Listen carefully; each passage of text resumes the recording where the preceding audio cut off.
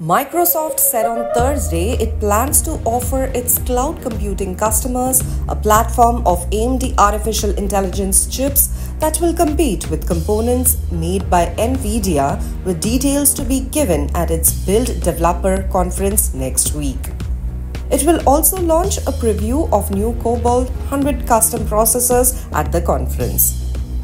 Microsoft's clusters of advanced micro devices flagship MI300X AI chips will be sold through its Azure cloud computing service. They will give its customers an alternative to NVIDIA's H100 family of powerful graphics processing units or GPUs. The NVIDIA H100 lineup dominates the data center chip market for AI but can be hard to obtain due to high demand.